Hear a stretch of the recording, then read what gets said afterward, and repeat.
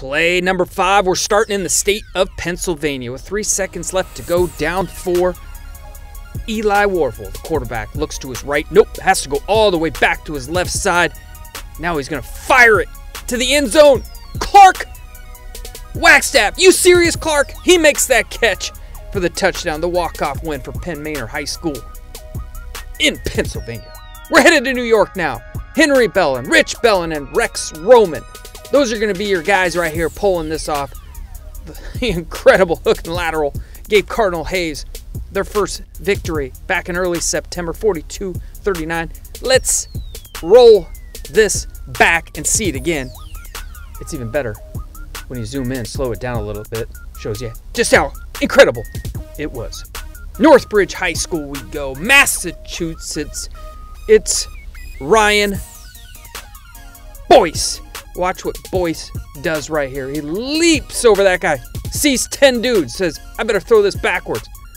there is Colin Falconer. Falconer takes it in 35 yards as the clock expires. Again, leap. Lots of dudes. I got to throw it back. Falconer, I'm here.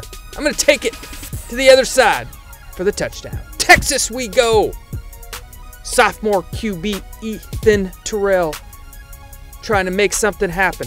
Throws it out to Kai Stone. Stone grabs it. Is he going to get in? Of course he's going to get in. Why would it be on this top five plays if he didn't? Stone heads in for six. And the walk-off win for districts. Play one. Stonebridge High School. These guys just know how to win. Senior Jacob Tom Thomas connects with Zeke Wimbush. Wimbush heads in. And that is a Class 5A state title. Yes, a walk-off state title victory for Stonebridge High School senior Jacob Thomas finds juniors Zeke Wimbush. Wimbush does the rest. State title. Your top five plays.